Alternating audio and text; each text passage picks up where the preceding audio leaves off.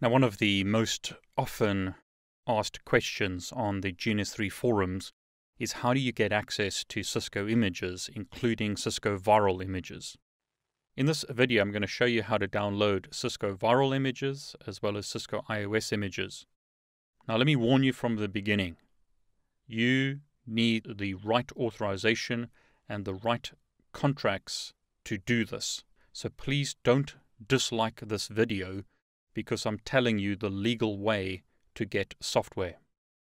Neither I nor GNS3 can provide Cisco images to you. Some vendors, such as Cumulus and Arista, make their software available for free. You don't have to pay for it, you can simply download a trial license. But for some of the Cisco images, you will need to buy a license to use it. So as an example, the recommendation today is to use Cisco ASA-V, Cisco IOS V Layer 2, Cisco IOS V. Those are VIRL images which you have to have a license for. Other software such as a 7200 image or a 3660 image can be downloaded directly from the Cisco website if you have an agreement in place with Cisco. So as an example, if you work for a Cisco partner, you'll be able to download the images. So again, due to legal requirements, you have to purchase your own licenses. But here I'm going to show you how to download an image from Cisco VIRL as well as the Cisco software portal. So let's get started. In the GNS3 documentation, there is a section called Which Emulator Should I Use? There's a discussion firstly whether you should use the GNS3 VM or not.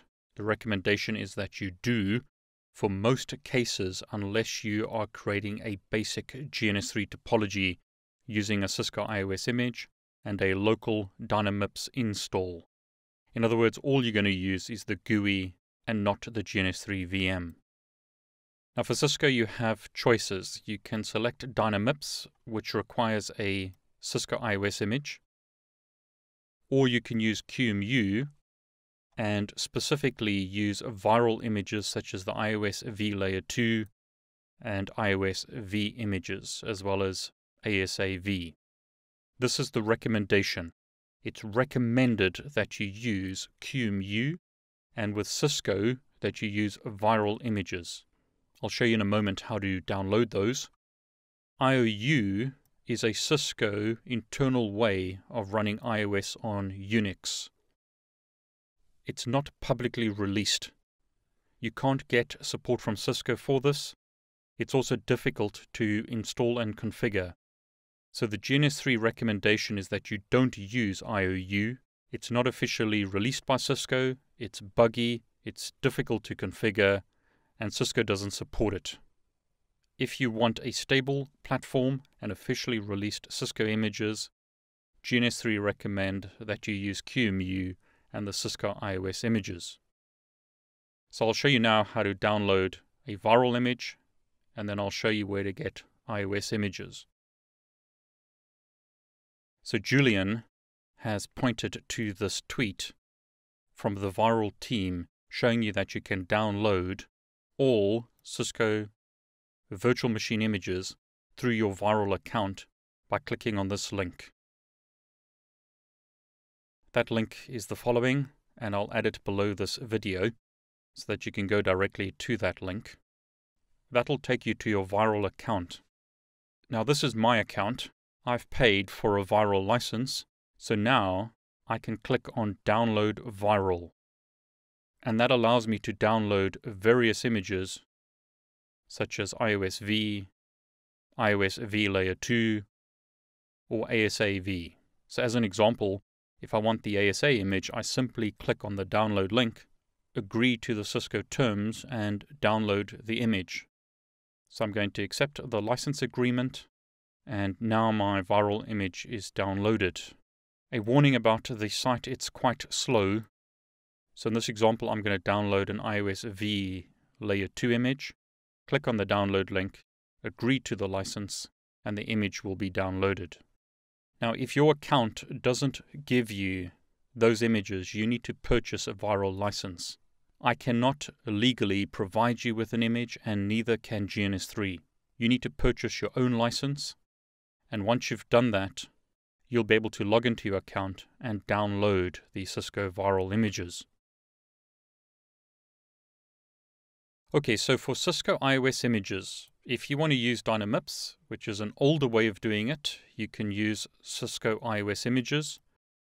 Once again, it is better to use VIRL, but perhaps you want a lightweight implementation of GNS3 and you want to use a Cisco IOS image. Now this document, Cisco IOS Images for Dynamips, gives a lot of good information, including important points to remember. Only 7200 series routers support newer IOS images. Other platforms are end of life and support IOS 12.4. So if you want IOS version 15, you should use IOS V, a VIRL image, or a 7200 series router.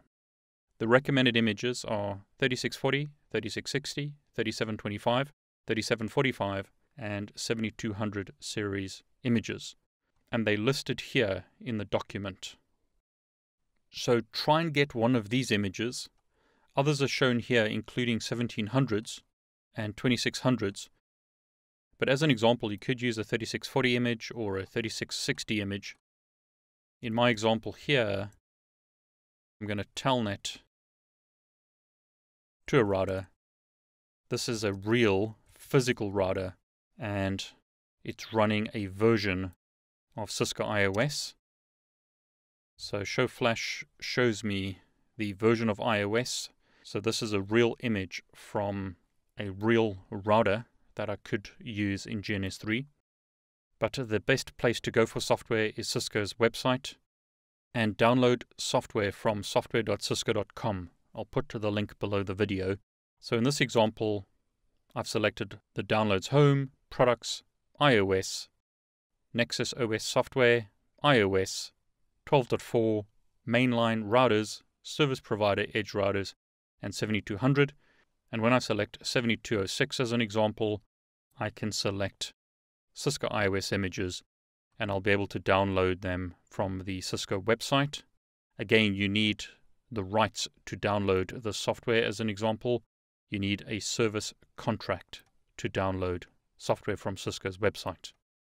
So again, on Cisco's website, I went to Downloads Home, Products, IOS, and Nexus OS software, selected IOS. I chose 12.4, mainline, routers, service provider edge routers, 7200, and selected the 7206. Selected IOS, and that allows me to download router images, assuming again that I have a service level agreement. So for the 7200 series routers, only the 7206 is supported. And you could use IOS 15 mainline or 12.4 mainline or 12.4 technology train. Recommended images again are 3640, 3660, 3725, 3745, and 7200 but the best way to go is to purchase a VIRL license and use VIRL images. But if you don't want to purchase a VIRL license and you've got a service contract with Cisco, you could download an image directly from Cisco's website. If you don't have a service level agreement, however, as in this example, you won't be able to download the image. So you need to contact Cisco and purchase an image. I hope you found the video useful. If you enjoyed it, please like it.